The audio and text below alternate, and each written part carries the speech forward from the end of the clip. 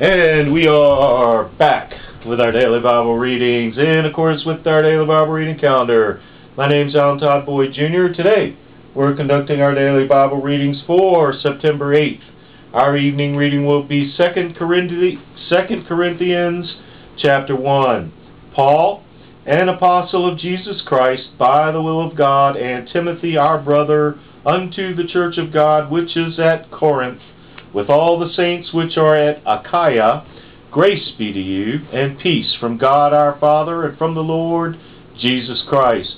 Blessed be God, even the Father of our Lord Jesus Christ, the Father of mercies, and the God of all comfort, who comforteth us in all, all our tribulation, that we may be able to comfort them which are in any trouble, by the comfort wherewith we ourselves are comforted of God. For as the sufferings of Christ abound in us, so our consolation also aboundeth by Christ. And whether we be afflicted, it is for your consolation and salvation, which is effectual in the enduring of the same sufferings which we also suffer, or whether we be comforted, it is for your consolation and salvation. And our hope of you is steadfast, knowing that as ye are partakers of the sufferings, so shall ye be also of the consolation. For we would not, brethren, have you ignorant of our trouble which came to us in Asia, that we were much pressed out of measure, above strength, insomuch that we despaired even of life.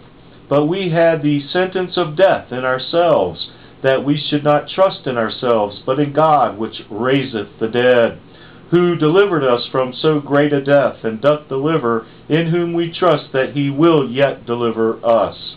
Ye also helping together by prayer for us, that for the gift bestowed upon us, by the means of many persons, thanks may be given by many on our behalf.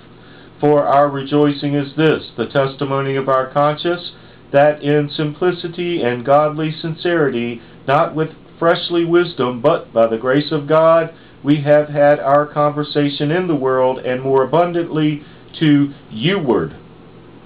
For we write none other things unto you, that what ye read or acknowledge, and I trust ye shall acknowledge even to the end.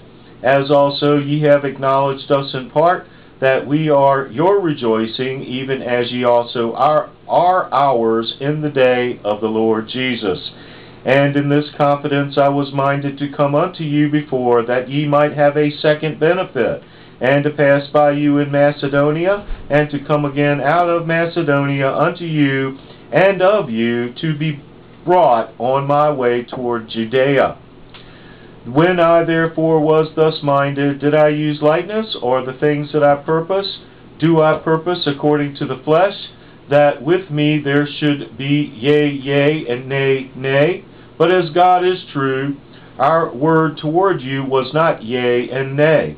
For the Son of God, Jesus Christ, who was preaching among you by us, even by me and Silvanus and Timotheus, was not yea and nay, but in him was yea. For all the promises of God in him are yea, and in him amen unto the glory of God by us. Now he which establisheth us with you in Christ, and hath anointed us, is God, who hath also sealed us and give a, given the earnest of the Spirit in our hearts. Moreover, I call God for a record upon my soul, that to spare you I came not as yet unto Corinth. Not for that we have dominion over your faith, but are helpers of your joy, for by faith ye stand. The word of the Lord.